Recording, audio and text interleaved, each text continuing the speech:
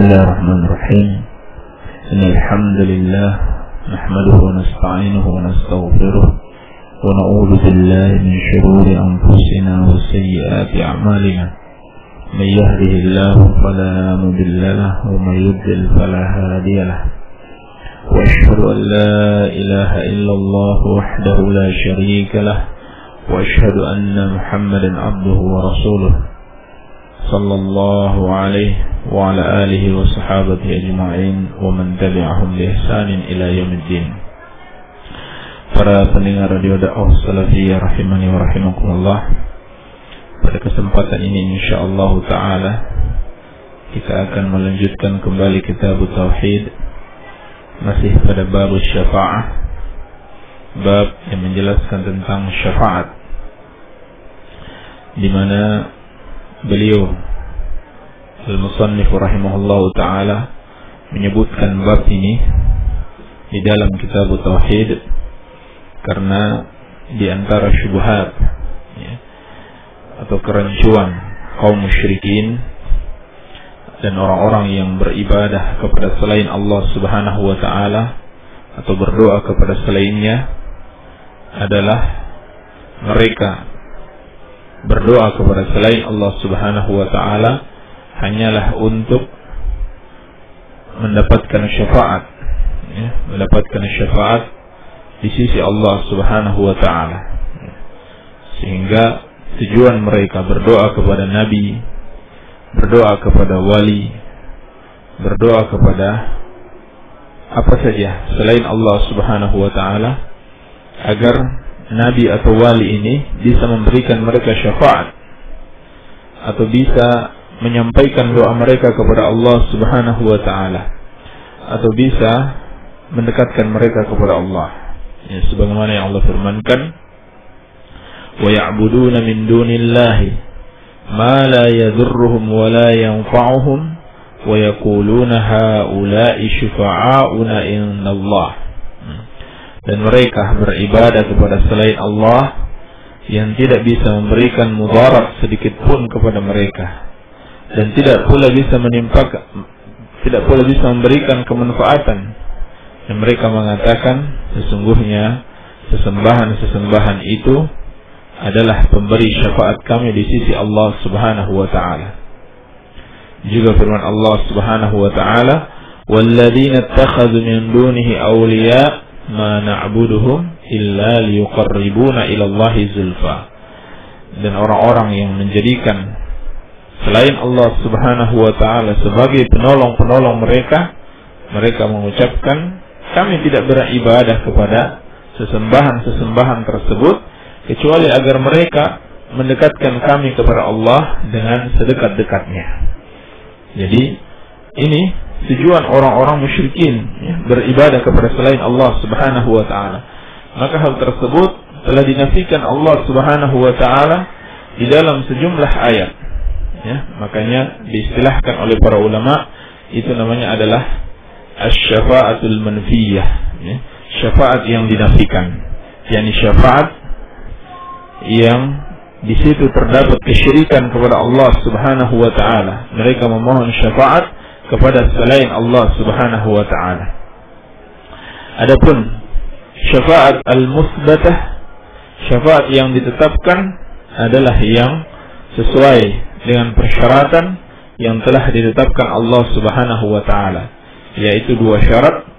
Yang pertama izin Allah kepada orang yang memberikan syafaat dan kedua ridho Allah kepada orang yang diberikan syafaat sedangkan Allah Subhanahu wa taala tidak akan ridho kecuali bagi ahli tauhid ya. Orang-orang yang benar-benar mentauhidkan Allah Subhanahu wa taala yang tidak menyekutukannya dengan sedikit pun itulah yang akan mendapatkan syafaat. Adapun orang-orang yang menyekutukan Allah Subhanahu wa taala seperti berdoa kepada selain Allah memohon syafaat kepada selain Allah mereka tidak akan mendapatkan syafaat sedikit pun.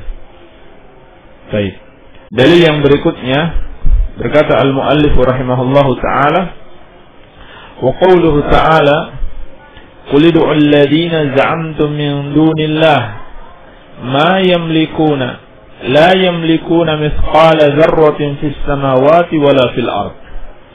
Katakanlah serulah sesembahan-sesembahan yang kalian sangka sebagai penolong kalian selain Allah Subhanahu wa taala. Sesembahan-sesembahan tersebut tidaklah memiliki sesuatu apa pun juga ya, meskipun hanya sebesar biji zarrah. Baik di langit maupun di bumi ini. Wa ma lahum fihi min syirk dan tidak pula mereka bersekutu bersama Allah dalam penguasaan atau pengaturan langit dan bumi. Wa ma lahu minhum min zahirin. Tidak pula mereka membantu atau menolong Allah Subhanahu wa taala sedikit pun.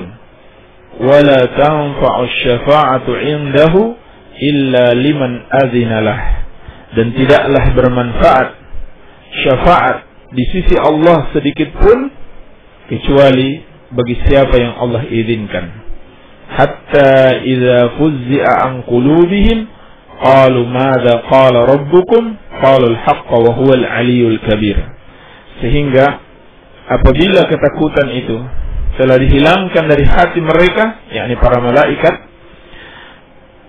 maka mereka pun mengatakan apa yang telah difirmankan oleh Rabb kalian. Qalul haqqa wa huwal aliyul kabir.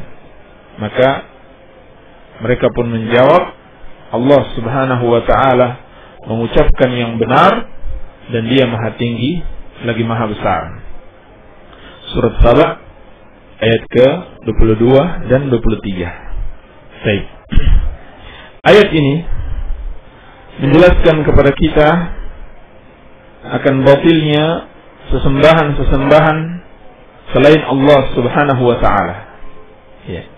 Di mana Allah Subhanahu wa taala telah memutus ya, sebab-sebab yang dengan itu seseorang bisa bergantung ya, kepada selain Allah Subhanahu wa taala.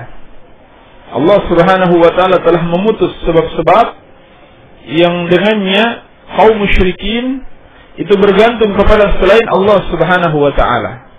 Ya, sebab orang yang menyembah selain Allah Subhanahu wa taala itu karena ada satu kemanfaatan. Ya. Atau seorang yang menyembah satu zat itu karena ada satu kemanfaatan, ya. Kemanfaatan yang bisa diraih dari penyembahan tersebut atau bisa diraih dari sesembahan ya yang mereka sembah. Sedangkan kemanfaatan itu tidak akan mungkin diraih kecuali dari yang memiliki empat sifat. Ya. Yang pertama, apakah dia yang memiliki apa yang mereka inginkan? Iya. Sehingga apa yang mereka minta kepadanya bisa dia berikan karena dia pemiliknya. Yang kedua, ataukah dia memiliki saham ya, di dalam apa yang mereka minta, ya, sehingga dia bisa memberikan sebagiannya karena dia memiliki saham, memiliki bagian dari kepemilikan. Ataukah yang ketiga, dia menolong Allah Subhanahu wa taala di dalam penguasaan dan kepemilikan sehingga dia bisa memberikan apa yang diminta oleh orang-orang yang menyembahnya. Kalau tidak juga, maka yang keempat dia bisa menjadi pemberi syafaat di sisi Allah Subhanahu wa taala. Maka empat hal ini telah dibatilkan oleh Allah Subhanahu wa taala di dalam dua ayat ini. Ya. Allah Subhanahu wa taala menafikan bahwa sesembahan-sesembahan selain Allah memiliki sesuatu apa pun ya meskipun hanya sebesar biji zarrah. Tidak sama sekali. Mereka tidak punya kepemilikan sedikit pun. Baik di langit maupun di bumi ini. Ini yang pertama. Yang kedua tidak pula mereka turut andil atau memiliki saham di dalam kepemilikan dan penguasaan langit dan bumi.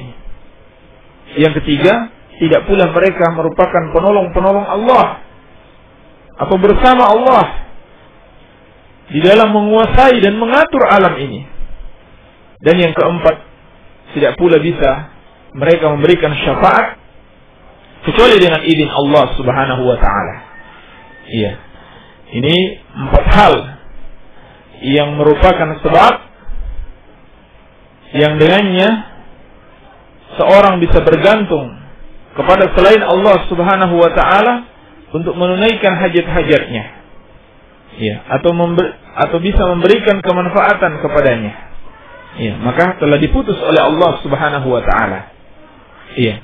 Sehingga kata para ulama, barang siapa yang memahami ayat ini dengan benar, maka akan putuslah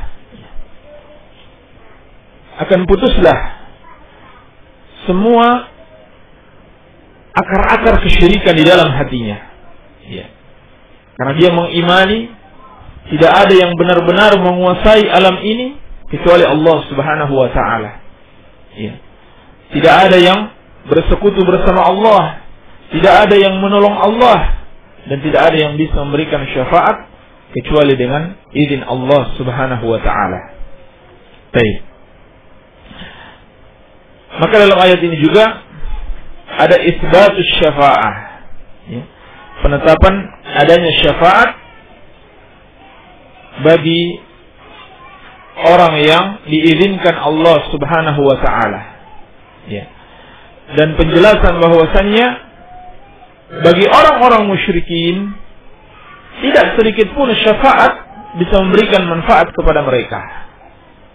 Jadi ayat ini celaan kepada kaum musyrikin kepada orang-orang yang menyekutukan Allah Subhanahu wa taala, kepada mereka yang memohon syafaat kepada selain Allah.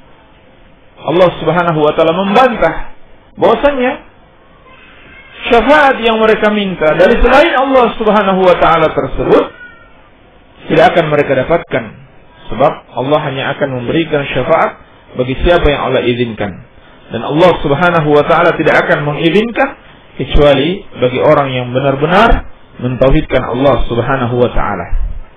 Kemudian al-muallif rahimahullah taala mengutip penjelasan Syekhul Islam Ibn Taimiyah rahimahullah taala terhadap ayat ini.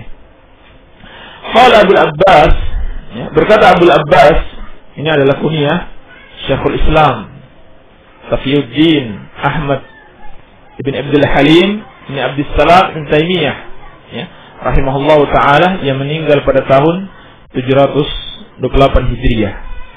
Iya. Beliau mengatakan, "Nafallahu amma siwahu kullama yata'allaku bihil musyrikun."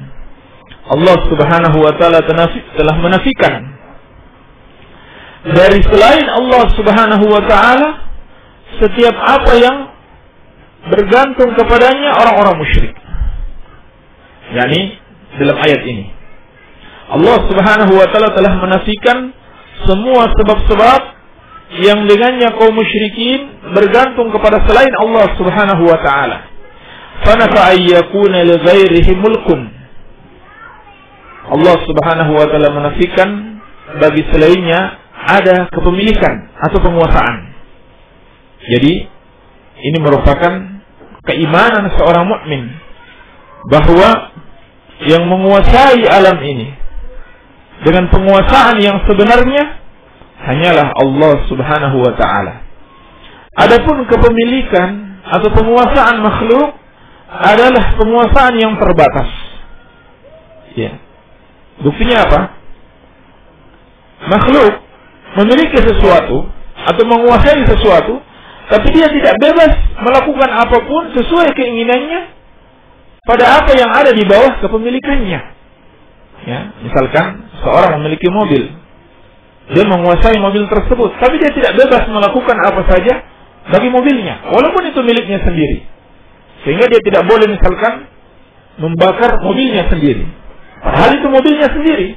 Tapi tidak boleh dia seenaknya untuk memperlakukan mobilnya sendiri. Sebab syariat melarangnya menyanyiakan harta. Ya, syariat melarangnya menyanyiakan harta.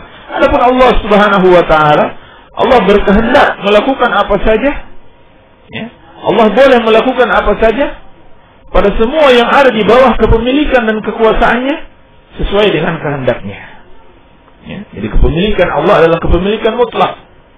Kekuasaan Allah adalah kekuasaan mutlak, sempurna. Adapun pada makhluk adalah penguasaan yang tidak sempurna. Baik. Auqistun minhu. Dan Allah juga menafikan dari selainnya bagian ya dari kekuasaan tersebut. Ya. tidak berkuasa dan tidak memiliki bagian sedikit pun dalam penguasaan itu. Iya. Jadi tidak memiliki saham tidak memiliki andil sedikit pun di dalam penguasaan langit dan bumi. Au yakun aunan lillah. Dan tidak pula sebagai penolong bagi Allah Subhanahu wa taala. Ya. penolong di dalam menguasai dan mengatur langit dan bumi. Walam yabqa illa syafa'ah. Kalau begitu tidak tersisa kecuali syafaat. Fabayyana annaha la tanfa'u illa liman adina lahu rabbu. Maka Allah menerangkan bahwasanya syafaat ini tidaklah akan bermanfaat kecuali bagi siapa yang Allah izinkan. Kama qala sebagaimana firman Allah, "Wala yashfa'una illa liman. Dalam surat Al-Anbiya, mereka tidak bisa memberikan syafaat kecuali bagi siapa yang Allah ridhoi. Fahadihi syafa'atu allati yadunnuha al-musyrikuna hiya manfiyatun yawmal qiyamah. Maka syafaat ini yang disangka oleh orang-orang musyrik adalah syafaat manfiyah ya, yang dinafikan pada hari kiamat tidak akan terwujud. Kama nafahal Quran sebagaimana telah dinafikan oleh Al-Quran. Wa akhbar Nabi sallallahu alaihi wasallam annahu ya'ti fayasjudu li rabbih. Dan Nabi sallallahu alaihi wasallam mengabarkan bahwa beliau datang pada hari kiamat dan sujud kepada Rabbnya. Wa yahmaduhu dan memujinya la yabda'u bisyafa'ati awalan tidak serta merta memulai dengan syafaat. Ya, jadi meskipun Nabi Shallallahu Alaihi Wasallam telah dijanjikan untuk diberikan syafaat, untuk memberikan hak atau diberikan hak untuk memberikan syafaat kepada umatnya, tetapi Nabi Shallallahu Alaihi Wasallam tidak serta merta bisa memberikan syafaat. Ya, beliau sujud dulu kepada Allah, kemudian memujinya. Ya, Lalu dikatakan kepada beliau, "Irfa ra'sak wa qul yusma was'al tu'fa washfa tushaffa." Ya. Angkatlah kepalamu, bicaralah engkau akan didengarkan, mintalah engkau akan diberi dan berilah syafaat engkau akan diberikan. Ini sebagaimana dalam hadis yang dikeluarkan oleh Al-Imam Al-Bukhari dan Imam Muslim. Iya. Ini Nabi Sallallahu Alaihi Wasallam. Ya. Tidak serta merta beliau bisa memberikan syafaat. Tetapi beliau benar-benar tunduk kepada Allah, ya. sujud kepadanya dan memujinya. Ya. Baru dikatakan isfa syafa. Ya. Berilah syafaat, engkau akan diberikan uh, hak untuk memberikan syafaat tersebut. Waqala Abu Hurairah dan berkata Abu Hurairah Man as'adun nasi bi syafa'atika? Kepada Nabi sallallahu alaihi wasallam, siapakah manusia yang paling berbahagia dengan syafaatmu?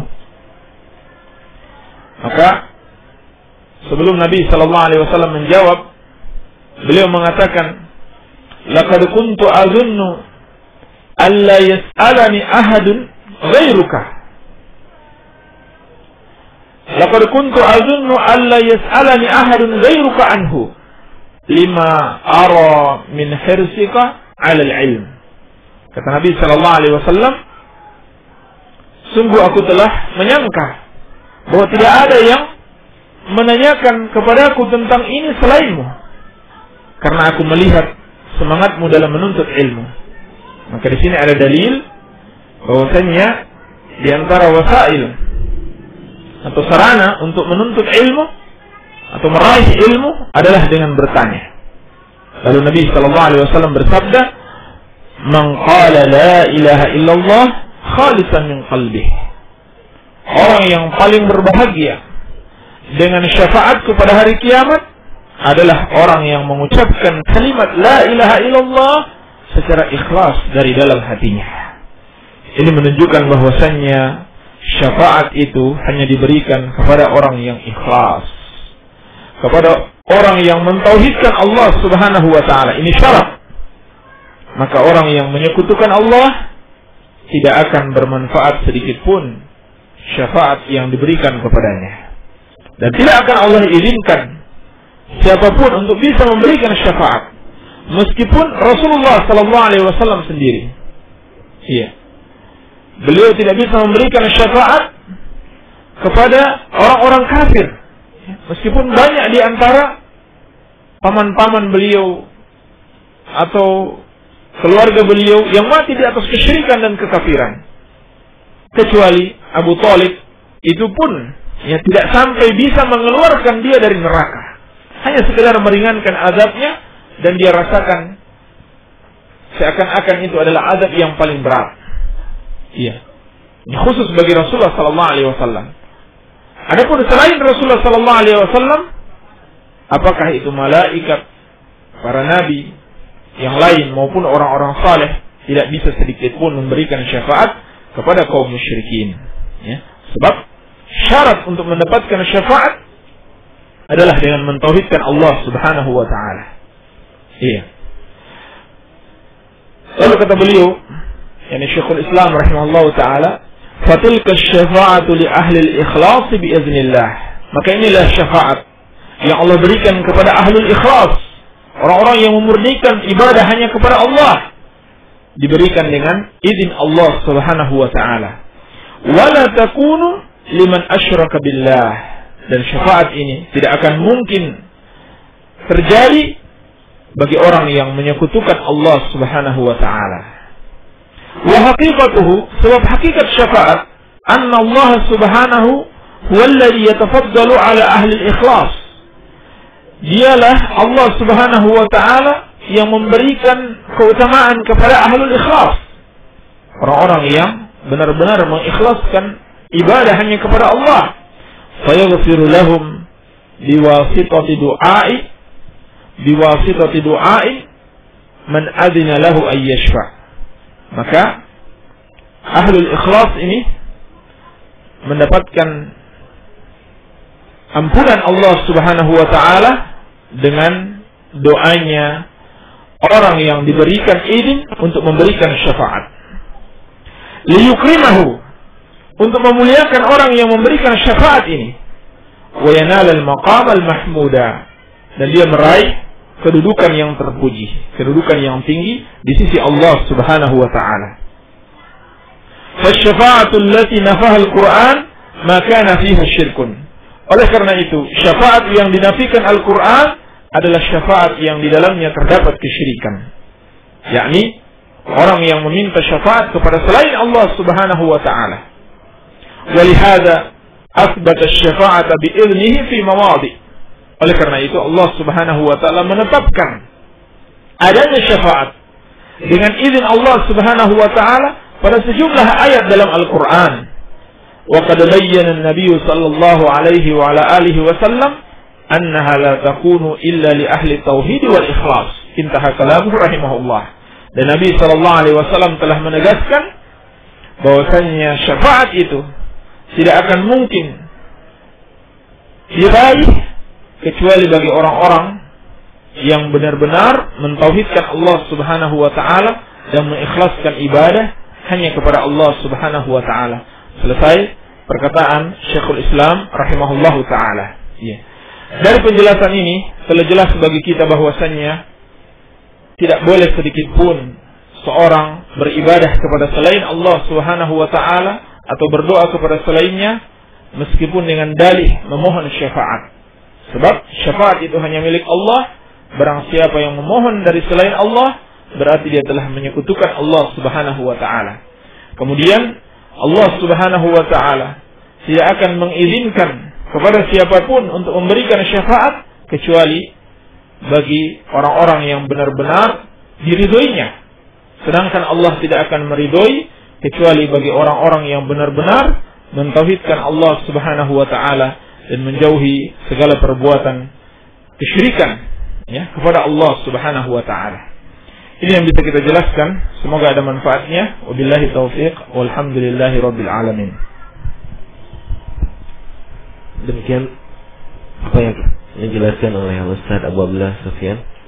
Mudah-mudahan apa yang dijelaskan oleh beliau memberikan manfaat dan tambahan ilmu dan amal bagi kita semua. Dan ini sudah ada pertanyaan yang masuk dan lumayan banyak jadi mohon maaf jika pertanyaannya tidak terjawab semuanya karena banyaknya pertanyaan yang masuk. Jadi diharapkan bersabar. Nah, tapi tetap bagi para pendengar radio dakwah salafiyah yang ingin bertanya silahkan kirimkan saja pertanyaannya. Sebagaimana biasa ke nomor 0813-949-72127 Baik mungkin langsung saja kepada Ustaz untuk menjelaskan pertanyaan-pertanyaan yang telah masuk. Bismillahirrahmanirrahim. Alhamdulillahirabbil alamin wassalatu wassalamu ala nabiyina Muhammadin wa ba'd. Bagaimana kalau turun hujan tapi tidak deras? Bolehkah untuk sholat di rumah? Kalau tidak ada masyakkah, tidak ada satu hal yang menyulitkan untuk pergi ke masjid bagi laki-laki, maka tidak boleh dia sholat di rumah. Apakah sama doa kunut nafilah dengan doa kunut dengan doa kunut sholat witir? Dan apakah boleh dibaca terus menerus kunut di setiap sholat witir? Ya. Pertama berbeda. Doa kunut nazilah dan doa kunut sholat witir itu berbeda. Ya. Adapun doa salat uh, doa kunut salat witir seperti dalam hadis Ibnu Khuzaimah dan juga Ibnu Abi Syaibah Nabi sallallahu alaihi wasallam mengajarkan kepada Al Hasan cucu beliau bin Ali bin Abi Thalib radhiyallahu taala anhuma yakni yang sering kita dengarkan Allahumma hdini في من هديت وعافني في من عافيت وتولني في من توليت وبارك لي فيما أعطيت وقني شر ما قضيت إنك تقضي ولا يقضى عليك وإنه لا يذل من واليت ولا يعز من عاديت ini doa kunut salat witir. Ya. Adapun kunut nazilah atau kunut pada salat lima waktu itu sesuai dengan keadaan sesuai dengan nazilah ya. Sebagaimana dalam riwayat Ahmad dan Al Bukhari juga Imam Muslim Nabi Shallallahu Alaihi Wasallam berdoa Allahumma anjil Walid bin Walid wa Salamah bin Hisham wa Iyash bin Abi Rabi'ah. Nabi Shallallahu Alaihi Wasallam berdoa ya Allah selamatkan Al Walid bin Walid. Juga